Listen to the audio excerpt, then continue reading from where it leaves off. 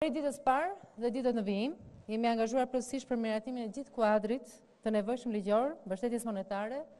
për të mundësuar sado pak lehtësimin e pasojave të këtij tërmeti që në ditët e para, por njëkohësisht dhe për të nisur një proces rimëkëmbjeje, i cili në këtë buxhet parashikon disa zëra.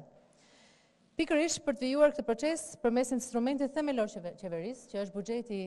2020, prezantuam si pjesë të tij fondin e rindërtimit. Ky instrument mobilizon maksimalisht të gjitha fondet e nevojshme për të mundësuar një rimëkëmbje të shpejtë, duke alokuar njëzet miliardë lekë apo dyqind milionë dollarë. Paralelisht, buxheti mbron parametrat makroekonomikë, fiskalë dhe një zhvillim ekonomik të qëndrueshëm dhe konsolidim fiskal në vijim. E theksoj paralelisht, sepse mënyra më e mirë për të përmirësuar situatën e krijuar në çdo familje të prekur nga tërmeti Është që të vijojmë me të gjitha projektet të cilat ishin parashikuar më parë se të ndodhte kjo fatkeqësi dhe me synimin për një rritje ekonomike dhe stabilitet financiar në vijim. Buxheti synon qëndrueshmëri të pozicionit të jashtëm të Shqipërisë,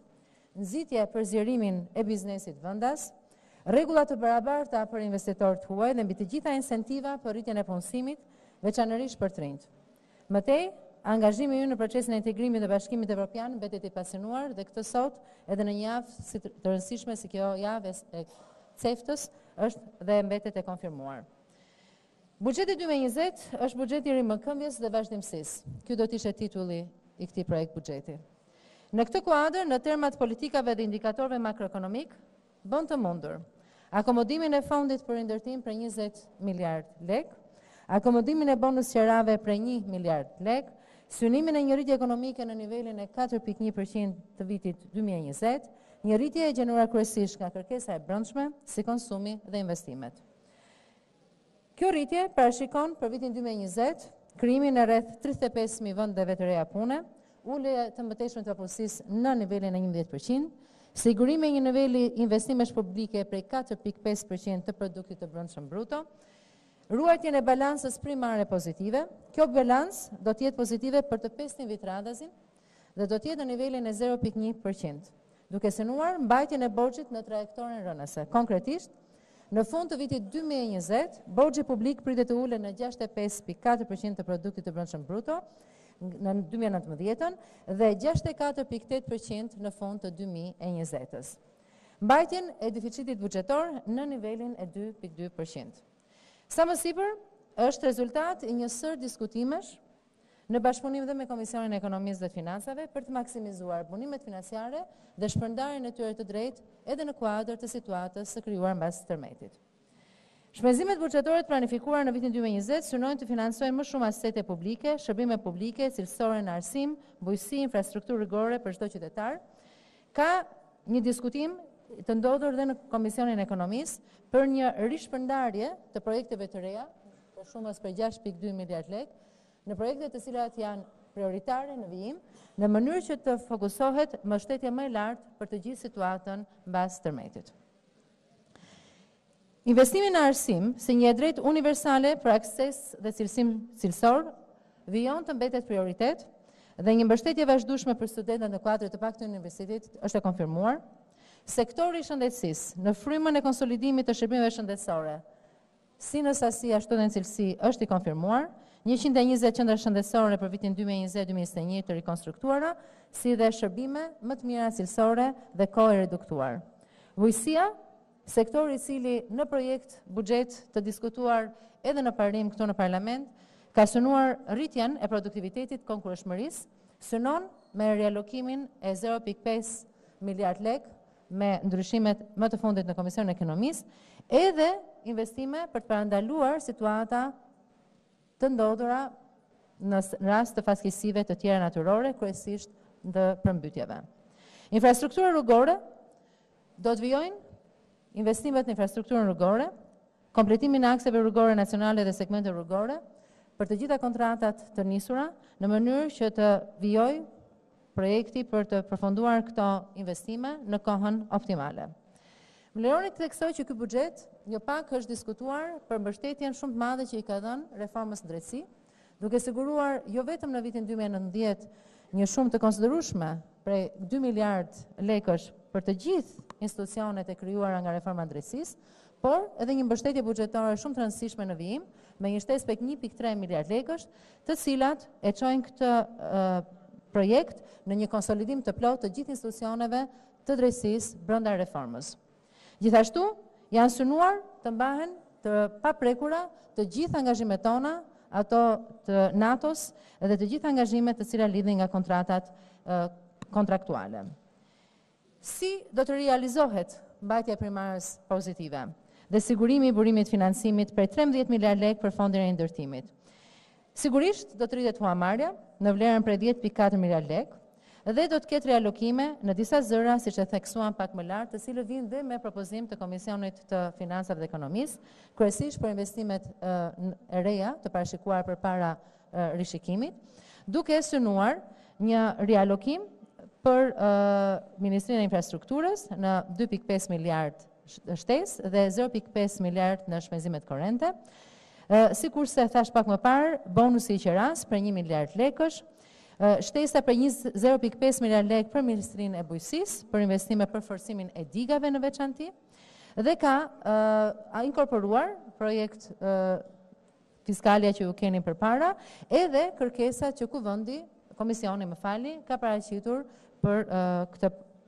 aprovim. Konkretisht, zero pikë dyqind e pesëdhjetë e katër miliardë lekë për Kuvendin, zero pikë katër miliardë lekë për shtim të shpenzimeve për pushtetin vendor, njëzet milionë lekë për Arkivën e Filmit, njëzet e shtatë milionë lekë për KLSH-në, shtatëmbëdhjetë pikë tre milionë lekë për Fondin e Diasporës, tetë pikë katër milionë lekë shtesë stafi për Kryeministrinë dhe një miliard lekë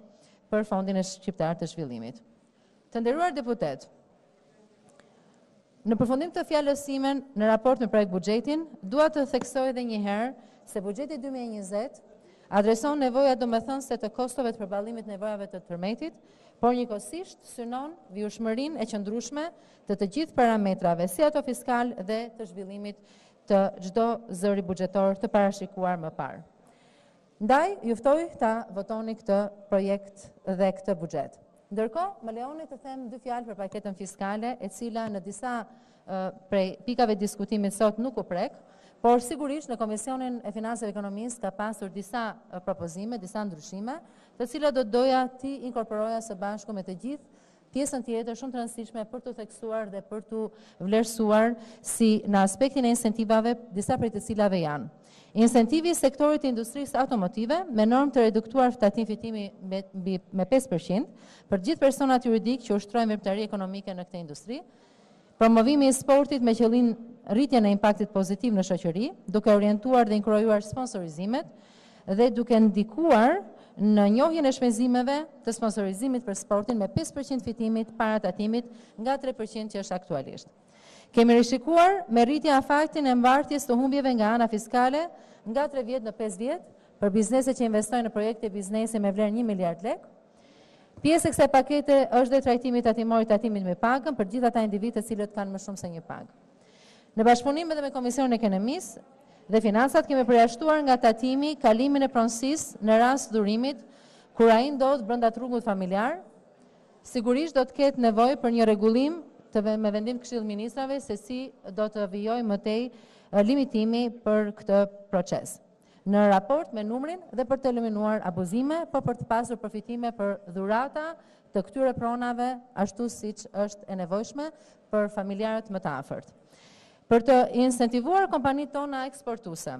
që të rrisin njohjen ndërkombëtare nëpërmjet pjesëmarrjes në panaire jashtë vendit, shpenzimet e bëra u njihen si të zbritshme deri në masën tre për qind të qarkullimit vjetor. Për të siguruar përputhshmëri me marrëveshjet e taksimit të dyfishtë, Është parashikuar që trajtimi fiskal për ndryshimet e pronësisë të mos zbatohet në rastet e marrëveshjes të taksimit të dyfishtë.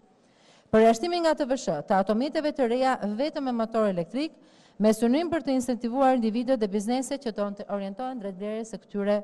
automjeteve. Përjashtim nga TVSH. për importin e shtëpive të gatshme, materialeve, komponentëve dhe pajisjeve që do të sillen për ndërtimin e banesave, tulla, beton, hekur etj, dhe që do të gjenden në situacionin e punimeve në programin e rindërtimit. TVSH për importimin e autobusëve elektrikë do të ngelet gjashtë për qind. Ndryshime të rëndësishme në këtë paketë fiskale janë dhe ndryshimet legislative, të cilat kanë të bëjnë me harmonizimin e kuadrit rregullator dhe mirëadministrimin fiskal. Më lejoni të theksoj që në vitin 2020 Mirëadministrimi fiskal është fokus i realizimit të të ardhurave në të dy administratat, përkatësisht atë tatimore, dhe kuptohet implementimi i gjobave dhe rritja e tyre nga ligji aktual, pavarësisht nga shkurtimi dhe riorganizimi që iu bë në Komisionin e Ekonomisë dhe Financave, mbetemi te besimi si Ministri e Financave që